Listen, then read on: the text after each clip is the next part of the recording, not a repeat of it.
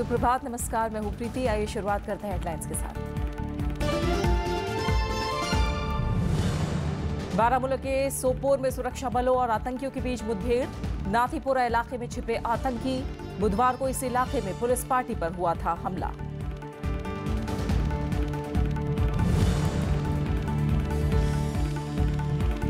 रूस के Saint Petersburg पहुँचे प्रधानमंत्री। राष्ट्रपति व्लादिमीर पुतिन के साथ 18वें वार्षिक सम्मेलन में होंगे शामिल।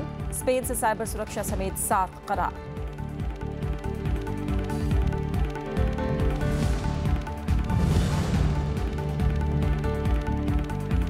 पिछले वित्तीय वर्ष में सात दशमलव एक फ़ीसदी रही जीडीपी। मंदी के चलते चौथी तिमाही में गिरकर छह दशमलव एक फ़ीसदी विकास दर। अप्रैल में कोर सेक्टर की वृद्धि घटकर दो दशमलव पाँच फ़ीसदी।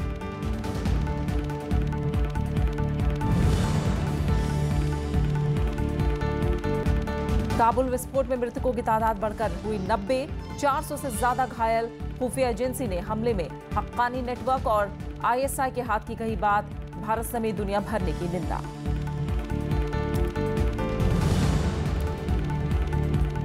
और थाईलैंड ओपन बैडमिंटन टूर्नामेंट में भारतीय खिलाड़ियों का शानदार प्रदर्शन। प्री क्वार्टर फाइनल में पहुँचे सायना नेहवाल, उत्तेजिता राव चुक्का और बी साई प्रणीत। सौरभ वर्मा भी अगले दौर में।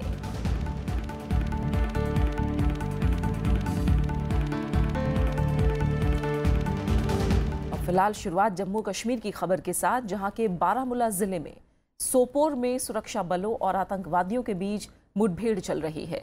सुरक्षा बलों को सोपोर के नाथीपोरा इलाके में आतंकवादियों के मौजूद होने की खबर मिली थी, जिसके बाद तड़के साढ़े तीन बजे सर्च ऑपरेशन चलाया गया।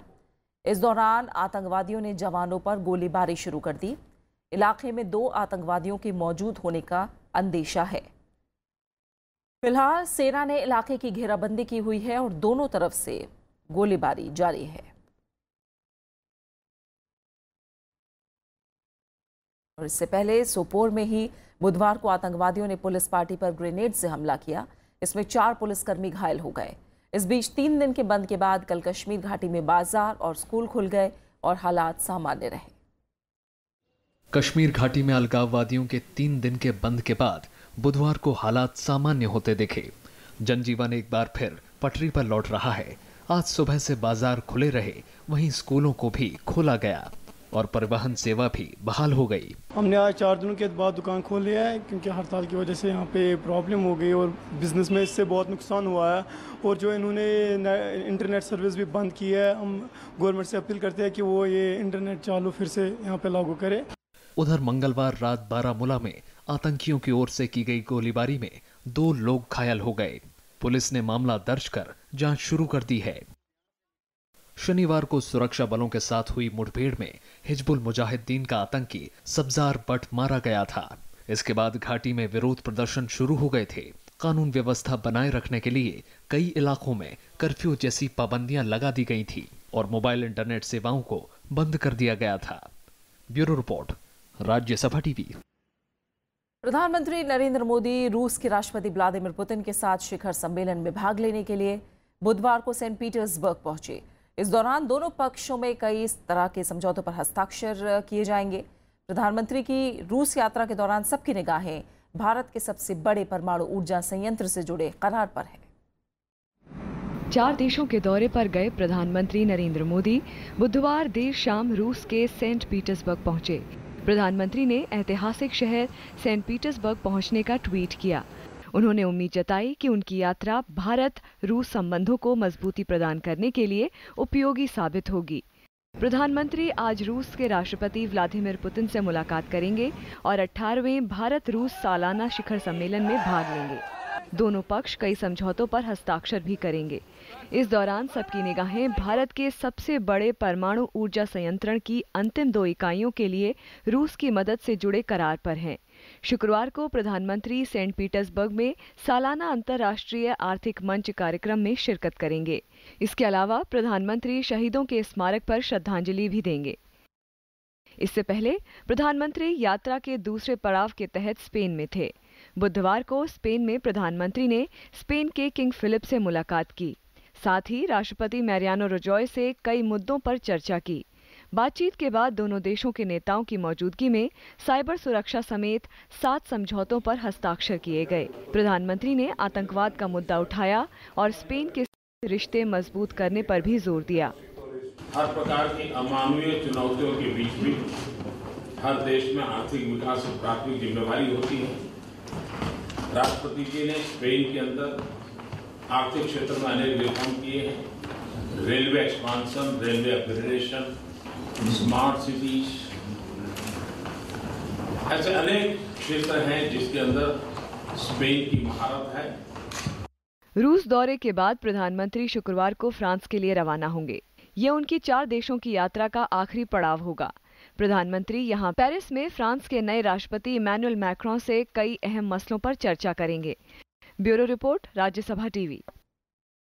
बूचड़खानों के लिए जानवरों की बिक्री पर पाबंदी के खिलाफ डीएमके ने तमिलनाडु में कल प्रदर्शन किया। वहीं आईआईटी मद्रास में बीफ फेस्ट पर छात्र की पिटाई के विरोध में छात्र संगठनों ने धरना दिया। केरल सरकार ने केंद्र के आदेश के खिलाफ विशेष सत्र बुलाने का फैसला किया है। उधर राजस्थान हाईकोर्ट ने गाय को राष्ट्रीय पशु का दर्जा और गौवध पर उम्र कैद की सजा देने की सलाह दी है। ये प्रदर्शन है बुचड़खानों के लिए जानवरों के व्यापार पर प्रतिबंध के खिलाफ। डीएम के कार्यकर्ताओं ने राजधानी चेन्नई समेत कई जगहों पर प्रदर्शन किया। वहीं बीफ फेस्ट के मुद्दे पर आईआईटी मद्रास में छात्र की पिटाई के विरोध में एसएफआई और डीवाईएफआई छात्र संगठनों ने भी प्रदर्शन किया। वो आरोपियों के खिलाफ कार्रवाई की मांग कर रहे थे.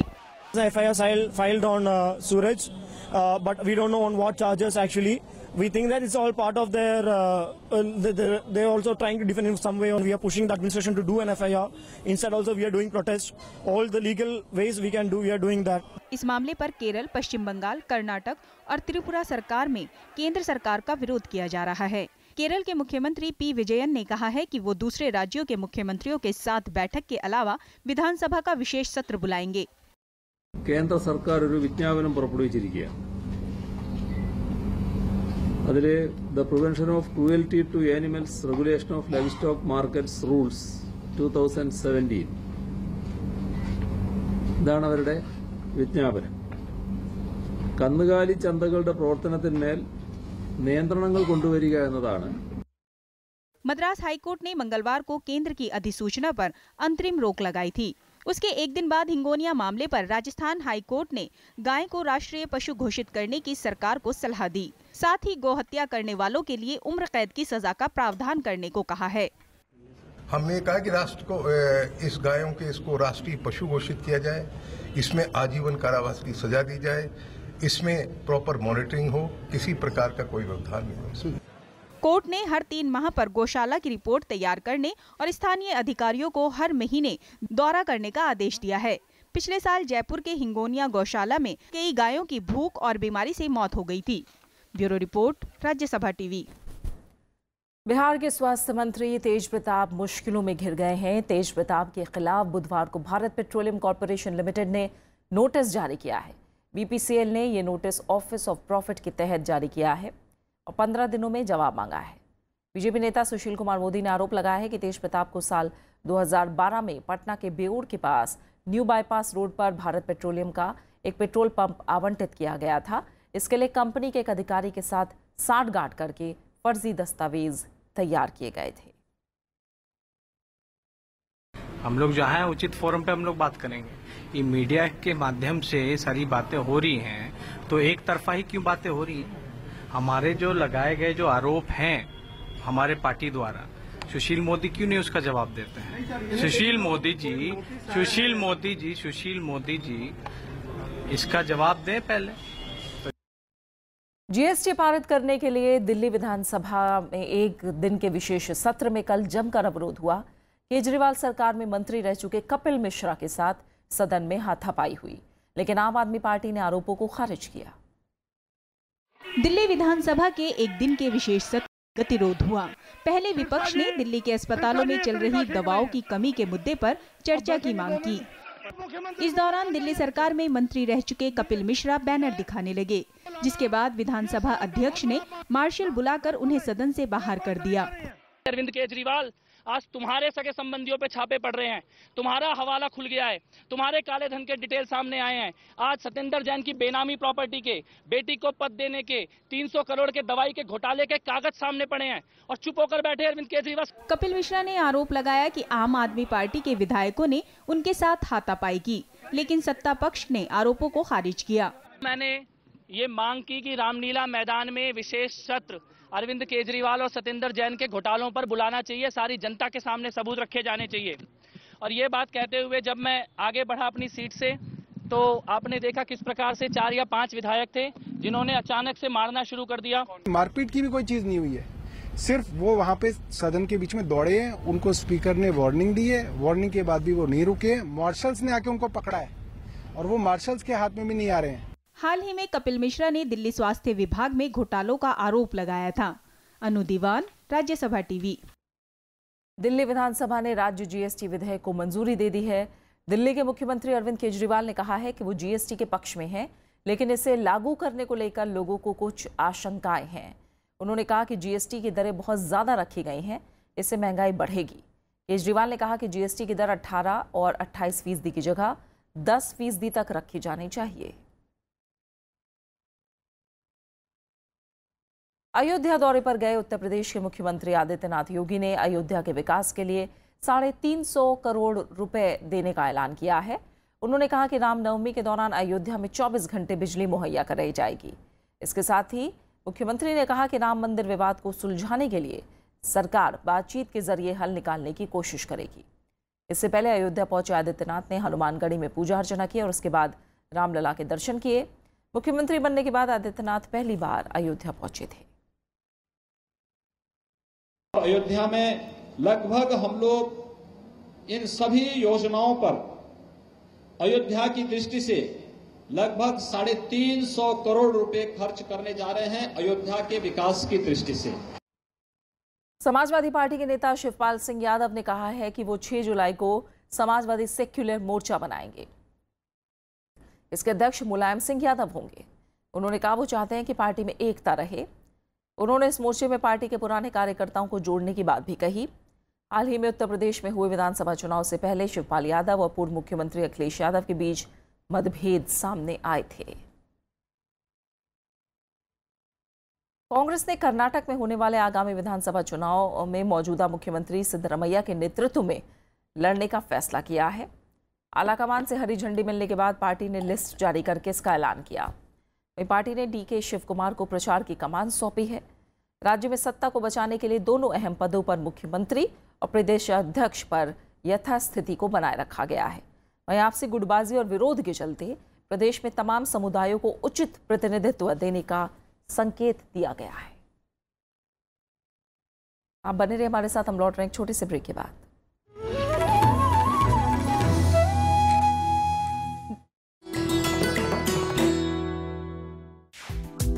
विजय लक्ष्मी पंडित, संयुक्त राष्ट्र महासभा की पहली महिला अध्यक्ष, देश की पहली महिला कैबिनेट मंत्री, भारतीय संविधान सभा की सदस्य, लोकसभा में फूलपुर सीट की नुमाइंदगी, संयुक्त राष्ट्र मानवाधिकार परिषद में देश का प्रतिनिधित्व। विजय लक्ष्मी पंडित के नाम है उपलब्धियाँ अनेक। नेहरू परिवार की ये सदस्य है देश की सफलतम राजनीतिज्ञों में से एक।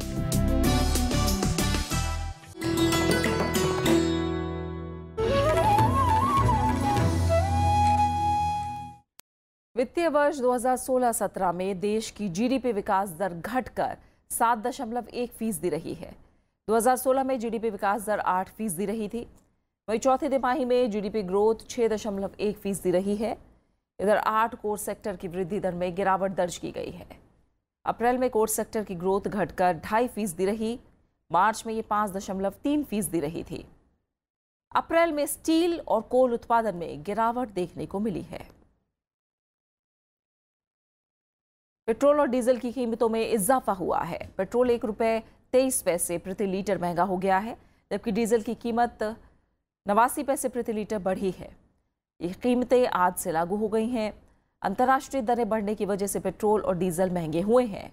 दिल्ली में पेट्रोल छियासठ रुपये इक्यानवे पैसे प्रति लीटर मिलेगा, जबकि डीजल पचपन रुपये चौरानवे पैसे में मिलेगा। 16 मई को दाम कम होने के बाद आम लोगों को राहत मिली थी, तब पेट्रोल दो रुपये सोलह पैसे और डीजल दो रुपये दस पैसे सस्ता हुआ था। आज से स्टेट बैंक ऑफ़ इंडिया की कई सेवाएँ महँगी हो जाएँगी। इनमें अपने बैंक खाते या एटीएम से पैसे निकालने और बैंक की किसी शाखा से कटे फटे नोट बदलने जैसी सर्विसेज़ शामिल हैं। एसबीआई के बेसिक सेविंग्स अकाउंट होल्डर अब महीने में सिर्फ़ चार बार ही अपने खाते से मुफ़्त पैसे निकाल सकेंगे। ज़्यादा बार किसी शाखा से पैसे निकालने के लिए ग्राहक को प्रति ट्रांजैक्शन पचास रुपये का शुल्क और सर्विस टैक्स चुकाना होगा। इस तरह एटीएम से भी चार बार मुफ़्त में कैश निकाला जा सकेगा। इसके बाद एसबीआई के एटीएम से पैसा निकालने पर दस रुपये शुल्क और सर्विस टैक्स देना होगा। एसबीआई की ई वॉलेट के पैसे एटीएम से निकालने पर भी चार्ज लगेगा। सेविंग्स बैंक अकाउंट रखने वाले ग्राहकों को चेकबुक के लिए भी चार्ज देने होंगे। ये नियम कैशलेस ट्रांजैक्शन को बढ़ावा देने के मकसद से लाए गए हैं। साथ ही इससे बैंक में खातों के रख रखाव का खर्च की भी भरपाई होगी।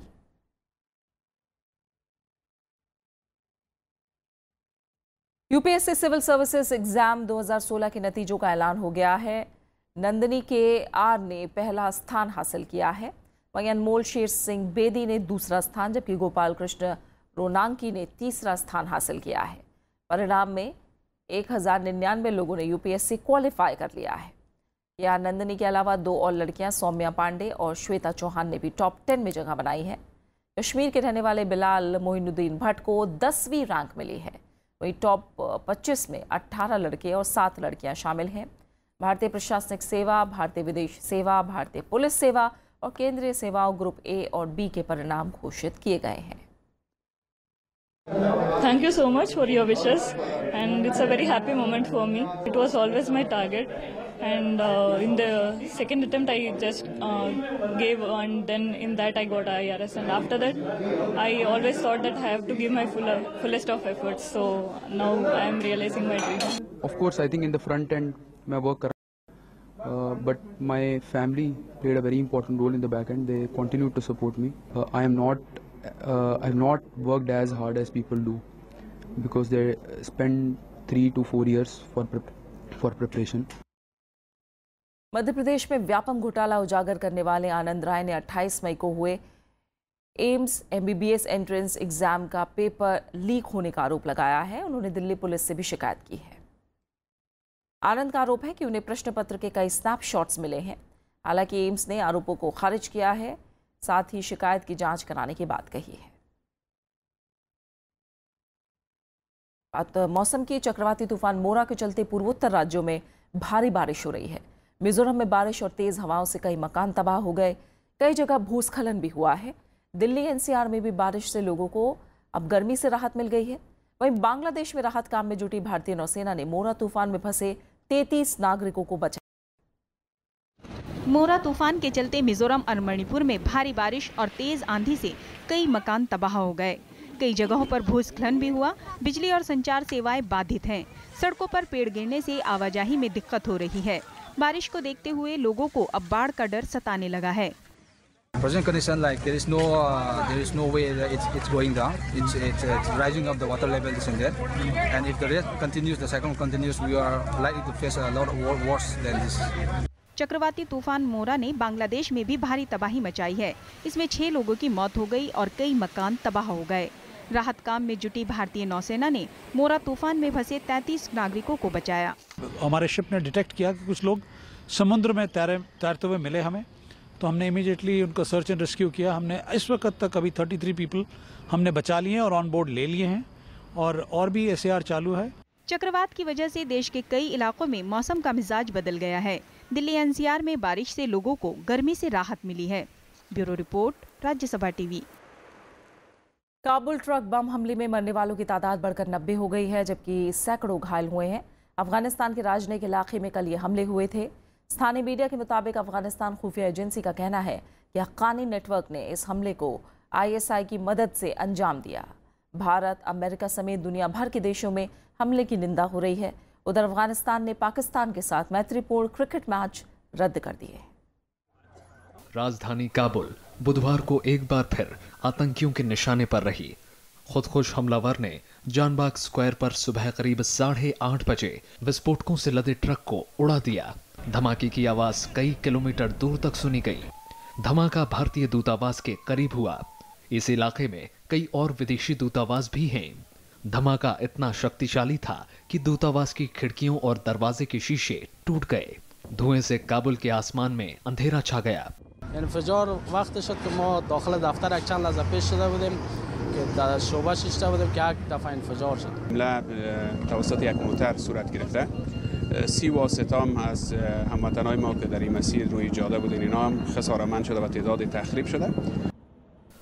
धमाके के बाद सुरक्षा बलों ने पूरे इलाके को घेर लिया है गृह मंत्रालय ने लोगों से रक्तदान की अपील की है भारतीय दूतावास के सभी कर्मचारी सुरक्षित हैं विदेश मंत्री सुषमा स्वराज ने इसकी जानकारी दी है। स्पेन की यात्रा पर गए प्रधानमंत्री नरेंद्र मोदी ने ट्वीट कर काबुल बम धमाके की कड़ी निंदा की है। उन्होंने आतंकवाद का समर्थन करने वाली ताकतों को हराने पर ज़ोर दिया। ये एरिया जो था, ये बहुत करीब है। इंडियन एम्बेसी, ईरान एम्बेसी और जर्मन एम्बेसी से भी बहुत करीब है। और लगातार इस तरह की अटैक हम देख रहे हैं, पिछले कुछ महीने से बढ़ते चले जा रहे हैं। एक सिस्टमेटिक तरीके से काबुल और अफ़गानिस्तान को डिस्टेबलाइज करने की कोशिश कर रहे हैं। हाल के महीनों में काबुल में कई धमाके हुए हैं। इससे पहले फरवरी महीने की शुरुआत में सुप्रीम कोर्ट में हुए आत्मघाती बम धमाके में कम से कम 19 लोगों की मौत हो गई थी। ताज़ा धमाकों को लेकर पूरे अफ़गानिस्तान में सुरक्षा से जुड़ी चिंता और गहरी हो गई है। Bureau report Rajya Sabha TV. अमेरिकी अंतरिक्ष एजेंसी नासा सूर्य के वायुमंडल में अपना पहला मिशन भेजेगी। बुधवार को इसकी घोषणा की गई। इस मिशन को सोलर प्रोब प्लस नाम दिया गया है। इसका मकसद सूरज के बाहरी वातावरण का अध्ययन करना है। इस मिशन के तहत एक अंतरिक्ष यान 31 जुलाई 2018 को भेजा जाएगा। ये मिशन 20 दिन का होगा। जानकारी के मुताबिक सोलर प्रो प्लस सूर्य की सतह से 6.4 किलोमीटर के अंदर उड़ेगा। ये दुनिया का पहला मिशन होगा जो सूरज के इतने करीब जाएगा और भीषण तापमान का सामना करेगा। वैज्ञानिकों को उम्मीद है कि इससे धरती पर होने वाले मौसमी बदलाव को लेकर अहम जानकारियाँ मिलेंगी। दुनिया से अहम खबरें। थाईलैंड ओपन बैडमिंटन टूर्नामेंट में भारतीय खिलाड़ियों का शानदार प्रदर्शन जारी है। साना नेहवाल, साई उत्तेजिता राव चुक्का बी साई प्रणीत और Saurabh Verma pre quarter final में जगह बनाने में कामयाब रहे हैं। महिला सिंगल्स में साइना ने स्लोवाकिया की मार्टिना रेपिस्का को 21 पाँच, इक्कीस दस से हराया। वहीं उत्तेजिता ने इंडोनेशिया की जेसिका मुलजाती को 13 इक्कीस, चौबीस बाईस, सत्ताईस पंद्रह से शिकस्त दी। उधर पुरुष सिंगल्स में प्रणीत ने मलेशिया के आर सतीश थारान को 21 पंद्रह, इक्कीस तेरह से मात दी, जबकि सौरभ ने हमवतन आनंद पवार को 21 सत्रह, बीस बाईस, इक्कीस चौदह से हराकर अगले दौर में जगह बनाई है। सभी खिलाड़ी आज आगे के मैच खेलेंगे। साल के दूसरे grand slam French Open tennis tournament में लिएंडर पेस और रोहन बोपन्ना अपने अपने जोड़ीदारों के साथ दूसरे दौर में पहुँच गए हैं। पेस और अमेरिका के उनके जोड़ीदार स्कॉट लिप्सकी ने मालदोवा के राडू अल्बोट और दक्षिण कोरिया के ह्यूनचुंग को सात छः चार छः छः दो से हराया। वहीं बोपन्ना क्वेवास की जोड़ी ने फ्रांस के पॉल हेनरी मैथ्यू और मथायस बोर्श की को सीधे सेटों में आसान मुकाबले में छः एक छः एक से मात दी। लेकिन महिला डबल्स में सानिया मिर्ज़ा और कजाकिस्तान की यारुस्लावा श्वेदोवा की जोड़ी पहले दौर में ही हारकर बाहर हो गई है। उपराष्ट्रपति मोहम्मद हामिद अंसारी ने कल दिल्ली में a life with wildlife from princely India to the present नाम की किताब का विमोचन किया। इस किताब का लेखन पूर्व नौकरशाह और वन्यजीव विशेषज्ञ एम के रंजीत सिंह ने किया है। उपराष्ट्रपति ने इस मौके पर लेखक की तारीफ़ करते हुए कहा कि वन्यजीव प्रेमियों के लिए ये एक बेहतरीन किताब है। राजनयिक भारत से लेकर आज तक का यात्रा विवरण प्रस्तुत करती है। एम के रंजीत, संयुक्त राष्ट्र में पर्यावरण परियोजना के सलाहकार भी रह चुके हैं। This book part autobiography part conservationist handbook and part travelogue traces the course of wildlife from the princely and British era to the present It is an insider's narrative and authoritative account of conservation efforts in India. I felicitate him for this commendable work. पूर्व राष्ट्रपति नीलम संजीव रेड्डी की आज पुण्यतिथि है रेड्डी साहब भारत के छठे राष्ट्रपति थे उनका कार्यकाल 1977 से 1982 तक रहा मात्र 18 साल की उम्र में नीलम संजीव रेड्डी स्वतंत्रता संग्राम में शामिल हुए और विद्यार्थी जीवन में ही उन्होंने सत्याग्रह भी किया। संजीव रेड्डी 1956 में आंध्र प्रदेश के मुख्यमंत्री बने और दूसरी बार फिर उन्नीस सौ बासठ से उन्नीस तक इस पद को संभाला। इस बीच उन्नीस सौ उनसठ से उन्नीस सौ बासठ तक उन्होंने भारतीय राष्ट्रीय कांग्रेस के अध्यक्ष के तौर पर काम किया। उन्नीस में संजीव रेड्डी राष्ट्रीय राजनीति में आए और प्रधानमंत्री लाल बहादुर शास्त्री ने उन्हें केंद्र में स्टील और खान मंत्रालय का भार सौंप दिया। वो राज्यसभा के भी तीन बार सदस्य रहे। गुजरे जमाने की मशहूर अदाकारा नरगिस की आज जयंती है। उन्नीस सौ इक्यासी में दुनिया से रुखसत हुई नरगिस ने चार दशकों से ज़्यादा समय तक दर्शकों के दिलों पर राज किया। उनकी अदाकारी से सजी दर्जनों फ़िल्में, आज भी हिंदी सिनेमा जगत की धरोहर हैं। नरगिस दिलकश अदाओं के साथ अपनी सामाजिक भूमिका के लिए भी याद की जाती है। खूबसूरती, अदाकारी और सादगी का अद्भुत संगम, नरगिस, जिनकी हर अदा निराली थी। हिंदी सिनेमा का अनमोल हीरा रही नरगिस ने छह साल की उम्र में बतौर बाल कलाकार फ़िल्मों में काम करना शुरू किया।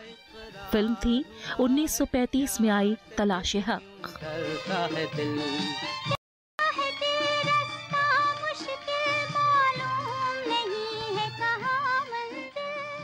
चौदह साल की उम्र में नरगिस को महबूब खान ने फ़िल्म तकदीर में बतौर हीरोइन कास्ट किया। इसके बाद नरगिस की नूर का सफ़र चल निकला। आजा तड़पाने वाले आजा आजा। नरगिस की जोड़ी दिलीप कुमार और राज कपूर के साथ खूब जमी।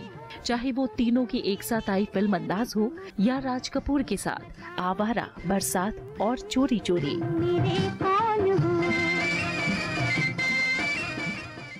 उन्नीस सौ सत्तावन में मदर इंडिया के लिए उन्हें अकादमी पुरस्कार में श्रेष्ठ अभिनेत्री का नामांकन मिला।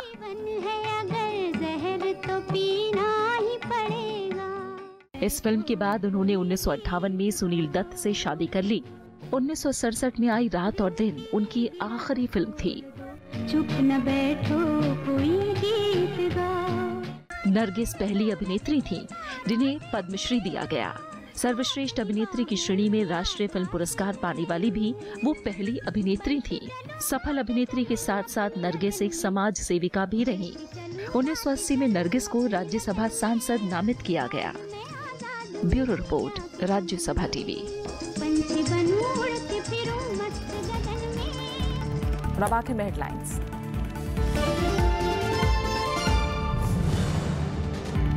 बारामूला के सोपोर में सुरक्षा बलों और आतंकियों के बीच मुठभेड़। नाथीपुरा इलाके में दो आतंकी ढेर। बुधवार को इस इलाके में पुलिस पार्टी पर हुआ था हमला। रूस के सेंट पीटर्सबर्ग पहुँचे प्रधानमंत्री। राष्ट्रपति व्लादिमीर पुतिन के साथ 18वें वार्षिक सम्मेलन में होंगे शामिल। स्पेन से साइबर सुरक्षा समेत सात करार।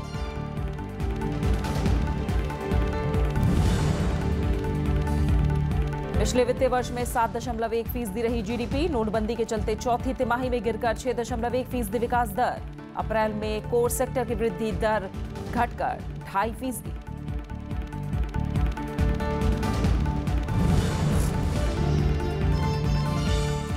काबुल विस्फोट में मृतकों की तादाद बढ़कर नब्बे, चार सौ से ज़्यादा घायल। खुफिया एजेंसी ने हमले में हक्कानी नेटवर्क और आईएसआई के हाथ की कही बात। भारत समेत दुनिया भर ने की निंदा।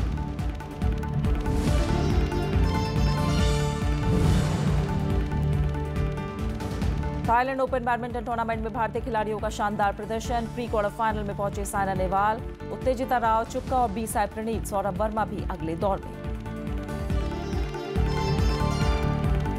फ़िलहाल इस बुलेटिन में इतना ही। आगे देखिए देश देशांतर। नमस्कार।